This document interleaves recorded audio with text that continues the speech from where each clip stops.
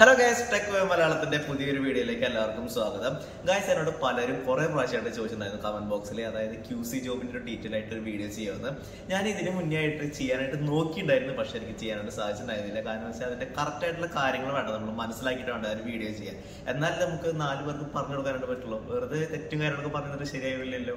അപ്പൊ ഞാൻ ഇന്നെ വർക്ക് ചെയ്യണ ഈ ഓഫ് ഷോറിൽ വർക്ക് ചെയ്യണ ഒരു ചേട്ടനെ കണ്ടുമുട്ടി. ആ ചേട്ടന്റെ വീട് തമിഴ്നാടാണ്.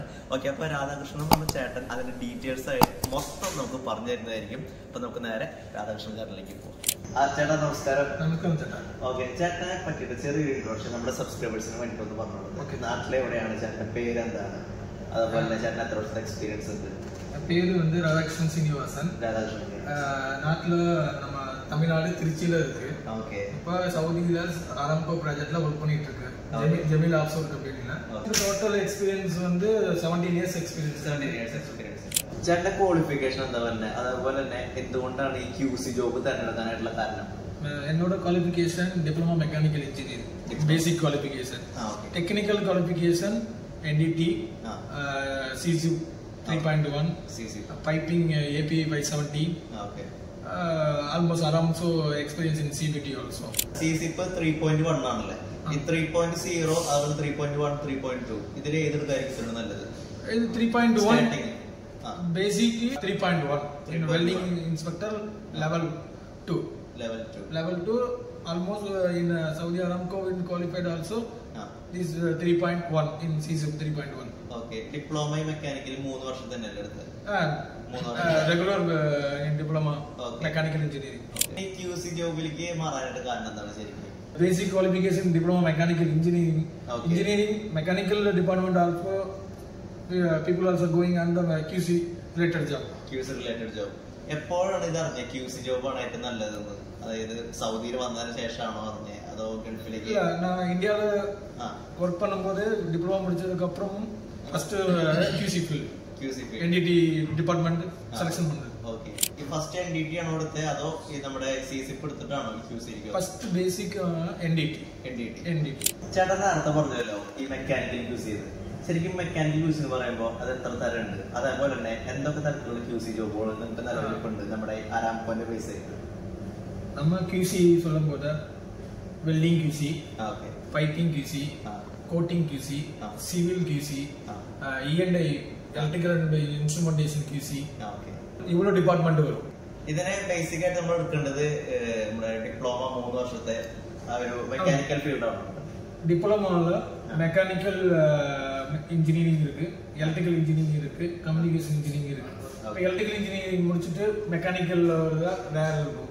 ஓகே அப்போ நீங்கள் இஎன்ஐ இக்யூசி இன்ஸ்பெக்டராக போகலாம் எலக்ட்ரிக்கல் எலக்ட்ரிக்கலுக்கு ஒரு டிப்ளமா இருக்குது பேசிக்கு நம்மளுக்கு ஆரம்பக்கு பண்ணும்போது நம்ம ஒரு இஎன்ஐ இக்யூசியாக இன்ஸ்பெக்டராக போகலாம் ஓகே ஓகே இப்போ மெக்கானிக்கல் இருக்கும்போது piping welding coating coating okay நம்ம சிவில் போக முடியாது. ஏன்னா நம்மளோட சிவில் டிப்ளமான்னு தனியாக இருக்குது ഓക്കെ ഇതിനൊക്കെ നമ്മൾ സെപ്പറേറ്റ് എടുക്കേണ്ട കോഴ്സുകളില്ലേ അതായത് സി സിപ്പ് നാസ് പിന്നെ ബികാസ് ബികാസ് എന്ന് പറയുന്നത് നമ്മുടെ പെയിന്റിങ്ങിനെയാണ് അതേപോലെ തന്നെ നമ്മുടെ ഈ വെൽഡിംഗ് യൂസ് ഒക്കെ ആണെന്നുണ്ടെങ്കിൽ ഏതാണ് ശരിക്കും എടുക്കേണ്ടത് அஹ் நம்மளுக்கு வந்து வெல்டிங்க்குன்னு அமெரிக்கன் ஸ்டாண்டர்ட் இருக்கு അമേരിക്കൻ സ്റ്റാൻഡേർഡ് பிரிட்டிஷ் ஸ்டாண்டர்ட் இருக்கு ഓക്കെ அமெரிக்கன் ஸ்டாண்டர்ட்னா ஏபிஐ ஏடபிள்யூஎஸ் அந்த மாதிரி போகும் ഓക്കെ பிரிட்டிஷ் ஸ்டாண்டர்டு சிசுக்கு வரும் சிசுக்கு பிசிஎன் இந்த மாதிரி ரிலேட்டட் நம்மளுக்கு இருக்கும் நம்ம வந்து எந்த ஃபீல்டுக்கும் சூஸ் பண்ணி ഓക്കെ செலக்ட் பண்ணி போகணும் ഓക്കെ ഇപ്പൊ ഈ അരാംക്ക ആണെന്നുണ്ടെങ്കിൽ അരാംക്കോ പൈസ ആണെന്നുണ്ടെങ്കിൽ നമ്മൾ ഈ ബ്രിട്ടീഷ് സ്റ്റാൻഡേർഡ് ആണ് എടുക്കേണ്ടത് രണ്ട് സ്റ്റാൻഡേർഡുമേ ഉണ്ട്.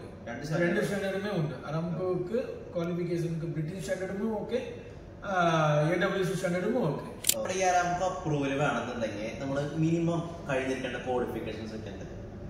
ഒരു ഹൈ സ്കൂൾ ഒരു ക്വാളിഫിക്കേഷൻ ഇരിക്കും.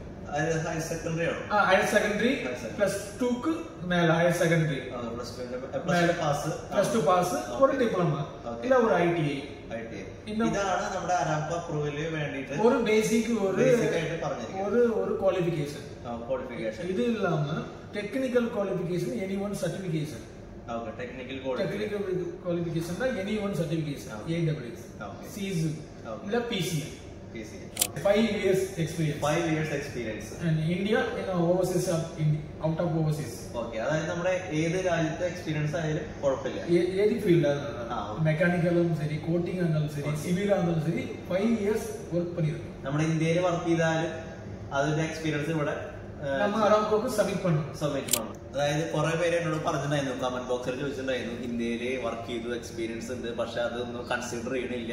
നമ്മുടെ ജി സി സി കൺട്രീസിലോട്ട് പോകുമ്പോൾ കൺസിഡർ ചെയ്യണില്ല. ഇപ്പൊ നമ്മുടെ ഈ ചേട്ടൻ പറഞ്ഞ കേട്ടില്ലേ അത് വരെ കൺസിഡർ ചെയ്യുന്നുണ്ട് എന്നിട്ടാണ് നമുക്ക് അരാംകോ അപ്രൂവൽ കാര്യങ്ങളൊക്കെ കിട്ടുന്നത് അരാംകോന്റെ അപ്രൂവൽ പറഞ്ഞത് എന്താണെന്ന് വെച്ച് കഴിഞ്ഞാൽ നമുക്ക് മിനിമം ഹയർ സെക്കൻഡറി ആണ് ക്വാളിഫിക്കേഷൻ പറയണത്. അരാംകോന്റെ അപ്രൂവൽ അതിൽ വേറൊരു കാര്യം കൂടി ഉണ്ട്. നമുക്ക് ഇവിടെ കമ്പനിയിലായിട്ട് വരണമെന്നുണ്ടെങ്കിൽ ഒരു കമ്പനി വേണ്ട നമ്മളെ കൊണ്ടുവരാനായിട്ട്.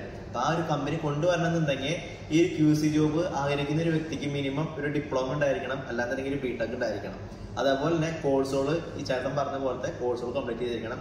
ഈ നാസ് എന്ന് പറഞ്ഞൊരു കോഴ്സ് നാസ് അല്ല സോറി സി സിപ്പ് എന്ന് പറഞ്ഞൊരു കോഴ്സ് കംപ്ലീറ്റ് ചെയ്തിരിക്കണം. ത്രീ പോയിന്റ് വൺ എന്ന് പറഞ്ഞൊരു കോഴ്സ് കംപ്ലീറ്റ് ചെയ്തിരിക്കണം.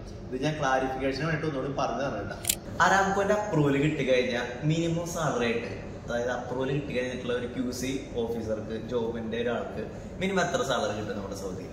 இன்ஸ்பெக்டருக்கு ஒரு பேசிக்னா ஒரு eleven thousand twelve thousand Saudi riyal கிடைக்கும் ബേസിക് ആയിട്ട് பேசிக் തന്നെ கிட்ட ബേസിക് ആയിട്ട് തന്നെ പതിനൊന്നായിരം സൗദി റിയാൽ മുതൽ പന്ത്രണ്ടായിരം സൗദി റിയാൽ വരെ അരാംകോ അപ്രൂവൽ കിട്ടുകയാണെന്നുണ്ടെങ്കിൽ അരാംകോ അപ്രൂവലിന് വേണ്ടിയിട്ട് നമുക്ക് അഞ്ച് വർഷത്തെ എക്സ്പീരിയൻസ് കൂടി വേണം കേട്ടോ നമ്മുടെ സബ്സ്ക്രൈബേഴ്സ് ചോദിക്കുന്ന ഒരു ഡൗട്ടാണ് ഏത് ജി സി സി കൺട്രീസിലോട്ടാണ് ഏറ്റവും കൂടുതൽ ഓയിൽ ഗാസ് ഫീൽഡിൽ ബന്ധപ്പെട്ടിട്ട് നമ്മൾ വർക്ക് ചെയ്യാനായിട്ട് വരേണ്ടത് പലരും പറയണത് ഇപ്പൊ ഞാനെടുത്ത സൗദിയാണ്. സൗദിയാണ് ഏറ്റവും നല്ലത്.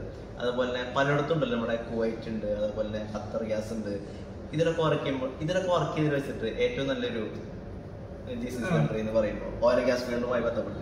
ഇപ്പൊ നമ്മളോട് ഓയിൽ ആൻഡ് ഗ്യാസ് റിഫൈൻ ചെയ്യുന്നു அதிக வேகன்சி வர்றது வந்து சவுதி அரேபியா സൗദിയില് ഇഷ്ടം പോലെ இஷ்டம் போல சவுதி வந்து பெரிய ரிஃபைனரி நிறைய பிளான்ட் இருக்கு നിറയെ plant ഉണ്ട്. വേറൊരു കാര്യം കൂടി ഉണ്ട് കേട്ടോ പലർക്കും ഒരു തെറ്റായ ഒരു ധാരണ ഉണ്ട് സൗദിയിൽ വന്നു കഴിഞ്ഞാൽ അതാണ് ഇതാണ് ഭയങ്കര പ്രശ്നമാണെന്നൊക്കെ പലരും പറഞ്ഞു കേട്ടിട്ടുണ്ട് എന്തെങ്കിലും തരത്തിലുള്ള അത്തരത്തിൽ എന്തെങ്കിലും തരത്തിലുള്ള ബുദ്ധിമുട്ടുണ്ടായിട്ടുണ്ടോ സൗദിയിലൊക്കെ വന്നിട്ട് நான் சவுதிக்கு வந்து சிக்ஸ் மந்த் ஆகி സിക്സ് മന്ത് ആയി சிக்ஸ் மந்த் வந்து இருக்கு Okay. எந்த ஒரு பிரச்சனையும் இல்லை நம்ம ഗൈസ് അങ്ങനെ നമ്മുടെ വീഡിയോ വെച്ച് വൈൻഡപ്പ് ചെയ്യാനായിട്ട് നമ്മുടെ രാധാകൃഷ്ണൻ ചേട്ടൻ എനിക്ക് വേണ്ടിയിട്ട് ഒരു അല്പസമയം ഒരു അരമണിക്കൂർ നേരം വന്നതാണ് അപ്പോൾ നമ്മുടെ വീഡിയോ ഇഷ്ടമായെന്നുണ്ടെങ്കിൽ തീർച്ചയായിട്ടും സബ്സ്ക്രൈബ് ചെയ്ത് ഫോളോ ചെയ്യാനായിട്ട് മറക്കണ്ട ചേട്ടാ നന്ദി